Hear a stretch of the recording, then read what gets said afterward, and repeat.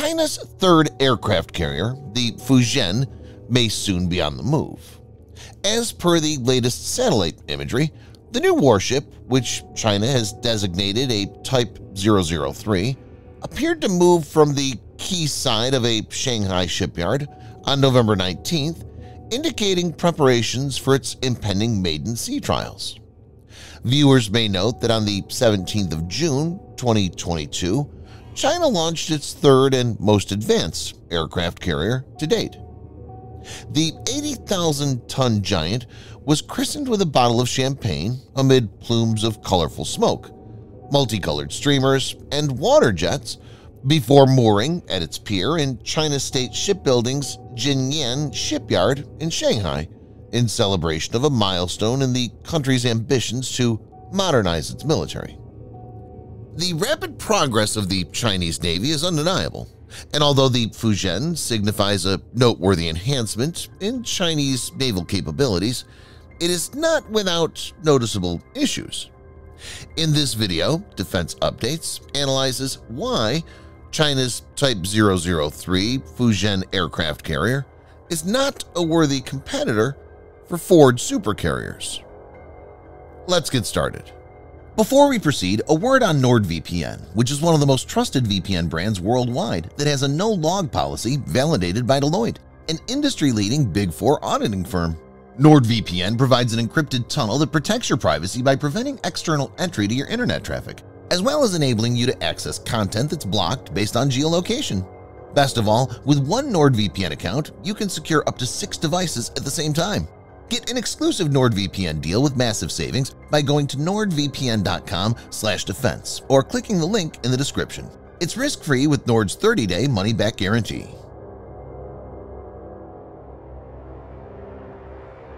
For over a decade, China's been steadily building up plans to deploy six aircraft carriers.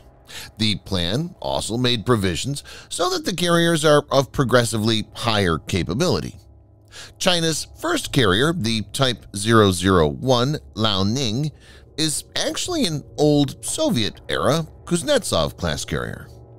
The second carrier, Shandong, launched in 2017, designated the Type 002 at its commissioning ceremony, was China's first entirely domestically built carrier. It's essentially a copy of Type 001 with very small improvements. China's third carrier, Fujian, is significantly larger and more capable, but is not perfect. Here are four major problems in the carrier. Like Shandong, Fujian is built with domestically produced steel. The strength of the steel is not sufficient for the construction of an aircraft carrier. Over the years, Shandong has seen many hull breaches, which has led to water flooding. The carrier has spent a huge portion of its service life in shipyard for repairs. The situation is identical for Fujian, and it's already shown signs of the same problem. Interestingly, the Soviet-built Type 001 Liaoning is actually the one that's operable since the hull is not leaky. On Friday, June 18, 2021, the USS Gerald R. Ford successfully completed the first scheduled explosive event as part of Full Ship Shock Trials FSST. The U.S. military detonated a 20-ton or 40,000-pound bomb next to the new supercarrier. The explosion was so powerful that it registered 3.9 on the Richter scale. The blast is comparable to 100 modern depth charges exploding simultaneously. Ford successfully completed the third and final scheduled explosive event for full ship shock trials on August 8, 2021.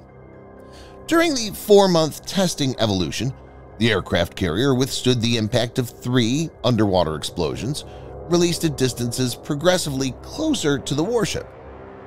Captain Paul Lanzillotta, Ford's commanding officer, had said, We had zero catastrophic failures on the ship, zero situations where we had flooding, zero fires.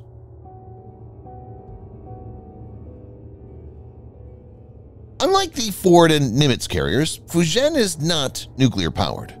This means that its speed, endurance, and long-ranged operational capabilities would still be limited.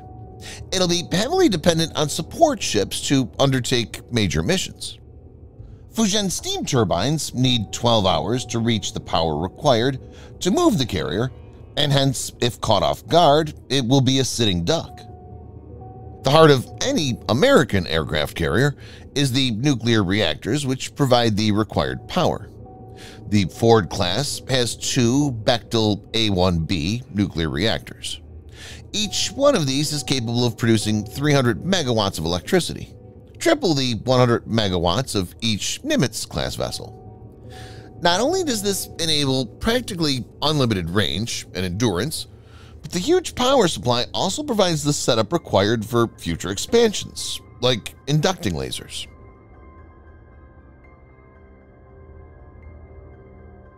Ford class uses electromagnetic aircraft launch system, or EMALS, instead of a steam catapult, the first to do so. The system uses a linear induction motor with an electric current to generate a magnetic field. That field then propels a carriage down a track. Since the power delivery is linear, it reduces stress on an airframe and also has less maintenance requirement. This will also be more suitable for launching next-generation fighters as well as drones.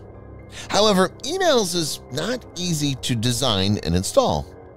EMALS motor generator, which is part of a suite of equipment called the Energy Storage Subsystem, weighs over 80,000 pounds alone.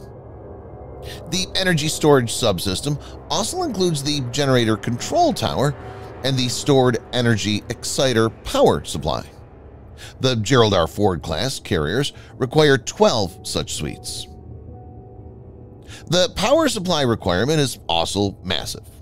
EMALS in Ford class is designed to deliver up to 60 megajoules of electricity and 60 megawatts at its peak in the three seconds it takes to launch a Navy aircraft.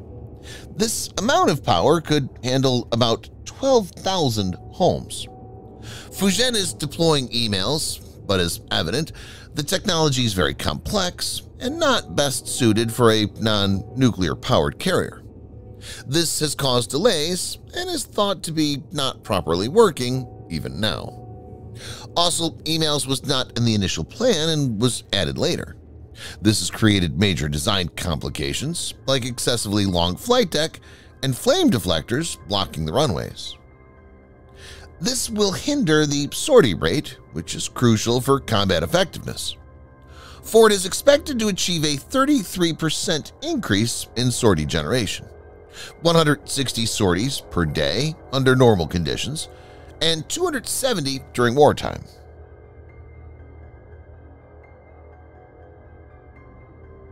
American supercarriers can carry a flight group of more than 70 fixed-wing aircraft, including FA-18 Super Hornet, EA-18G Growler, Northrop Grumman's E-2C Hawkeye, as well as rotary aircraft like Sikorsky MH-6.